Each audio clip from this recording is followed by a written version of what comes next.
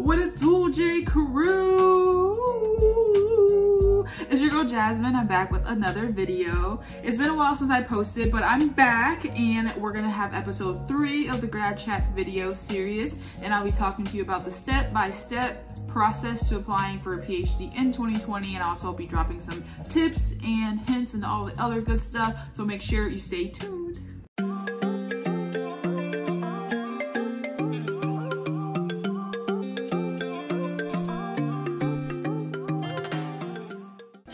So you have to excuse me, the lighting is kind of weird because the sun is setting and I was trying to use all of the natural lights, but it's okay, bear with me. So I usually ramble on, on, on about all the other random stuff, but today I wanna make sure I cut right to the chase because I don't wanna make it like a super long video and I wanna give you guys just the direct steps and yeah.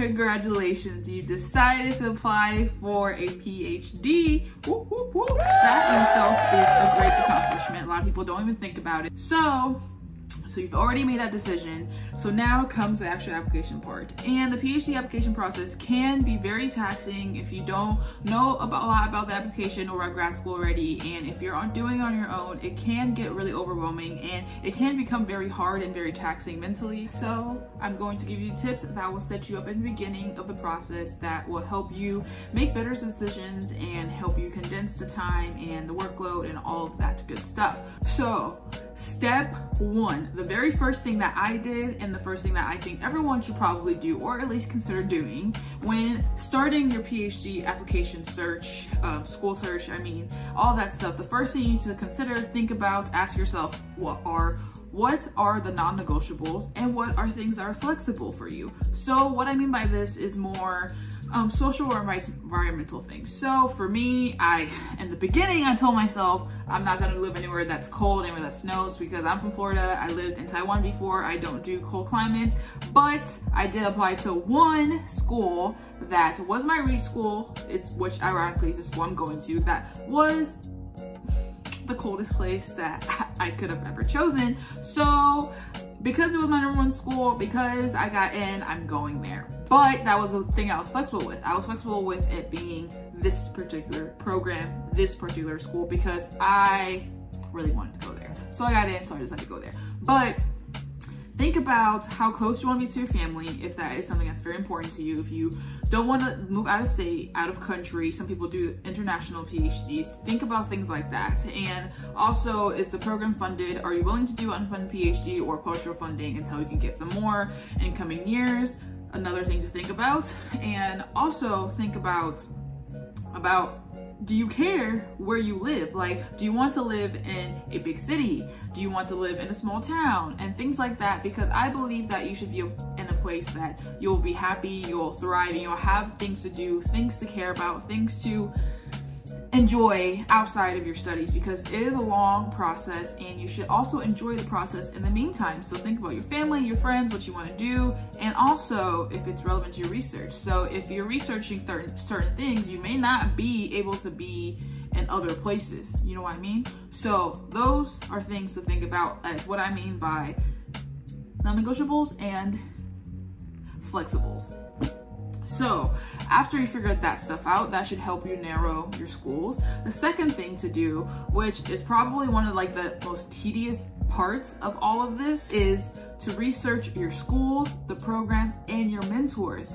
So this seems very abstracty. So I'm gonna try and break that down for you. So after you figure out things you want to do, places you want to go. It should cancel out some some aspects for you. If it doesn't, that's okay. So after you know that information, what you want to do is go ahead and look for a school, a program, and a mentor. So how I went about this is I knew I wanted to be in psychology. I knew I wanted to be in this um, in a certain area, certain field. I wanted to do certain things. I want to have be able to hit certain goals as far as my career and research wise. So what I would did was I went on and Googled top programs, top PhD programs in psychology. So then from there, I was like, oh, these are the top schools. This is what they focus on, this, and another. So that kind of gave me a broad understanding. So after that, I was able to learn about different programs. So from there, I was able to tell what schools had certain types of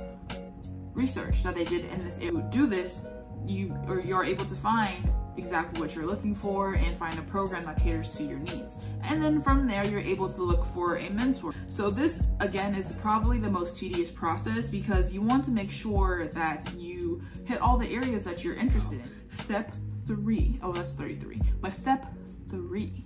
So this step I feel like can be very controversial, which I have no idea why it's controversial. People feel like they shouldn't do it, but 100% do it. So this step for me was reaching out to people I was interested in working with. And this, I feel like is a non-negotiable. Like you have to talk to people that you want to work with because how else are you going to know if they're accepting students, if they're even doing the same type of research, if they're on sabbatical this fall, if they're no longer taking students, if they're retiring, like how else are you going to know these things if you don't ask ask them?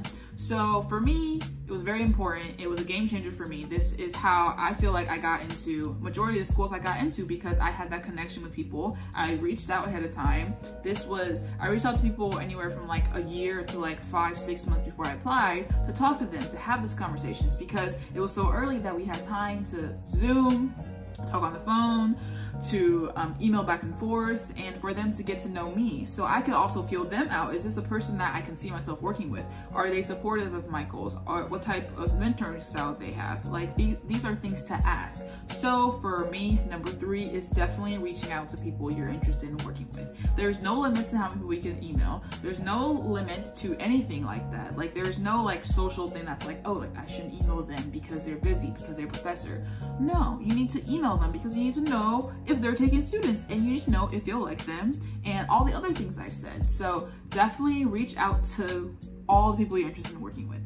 So after you have figured out your non-negotiables, your flexibles, after you've done your research, after you've emailed people, this is the time to get organized. So step four is to create a Excel sheet or some type of web form, to-do list, whatever it is, whatever works for you, whatever you need to create to keep track of things. You want to create something to keep track of the schools and all the information that goes with it. This is so important and it will be so handy later on in the later steps that I'll talk about later on. Um, and it will help you be more efficient and it will help you help others that you're also working with and talking to. So for me, I created an Excel sheet and in this Excel sheet, I had the school that I was applying to, the program I was applying to, and the faculty I was applying to. In addition to all this like basic stuff, I had information about their funding. Do they have internal funding? Do they have external funding? Do, do they fully fully or partially fund their grad students. These are things that are very important to know. And then in addition to that, I also had information about the GRE. Are they, do they require the GRE? What is the GRE code? And then um, their application process. What do they require from their students? Um, is it a personal statement? Is it a research statement? Is it a diversity statement? What type of stuff do they need from you? And then how many le letters of recommendation do they require from you? And also their address and when their application is due. So these are just a few, not a few, I guess, but these are things that you want to have on this Excel sheet so that you're able to keep track. And um, if I remember, I'll make sure I share a screenshot of my Excel sheet. Maybe that'd be helpful to you guys. Maybe I can create a template if it's something that people are interested in, but um, I will try and show you what mine look like. But an Excel sheet with just all of the basic information in one place so that you have to go back and forth. Um, their school code, their GRE code, address, all that stuff will be really important and help you be super efficient with all the stuff that you have to keep up with within, with all of the applications. So after you have done all of that, step five is to schedule your GRE. And I say schedule, not take. You want to make sure you schedule your GRE at least four, five, six months before you take it, or at least have an idea if you don't schedule it that early. Have an idea of when you're going to take it. And I say this because you want to give yourself enough time to study for the GRE. And this all is a part of planning ahead. So for me, I started studying for the GRE in June, and I was taking it in um, the middle of August, which is not that long of a time.